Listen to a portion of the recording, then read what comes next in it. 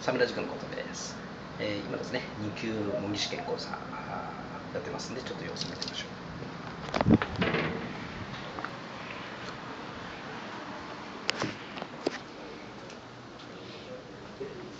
これは小松のこれじゃない一応合成する人そう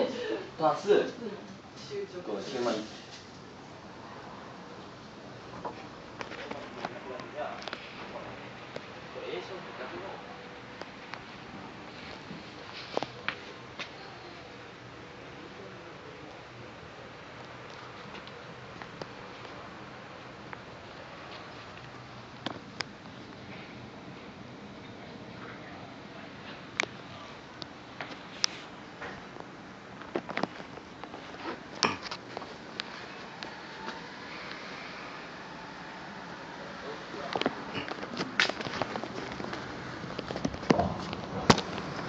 はい、えー、頑張ってですね、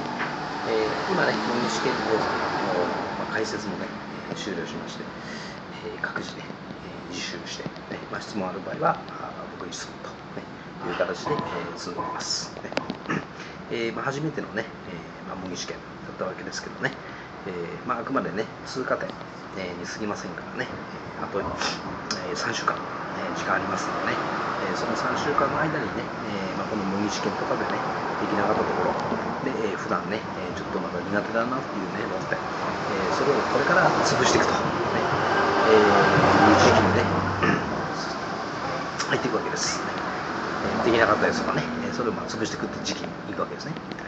でまあ、最後のね最後まで諦めずにね、え走りきればね、えー、模擬試験ではちょっとできなかったかもしれないけどもね、えー、本試験ができたってね、えそういった可能性も非常に高いですからね、え最後まで諦めずに、え走り切ってね、えやらせていきたいと思います。はい、では以上です。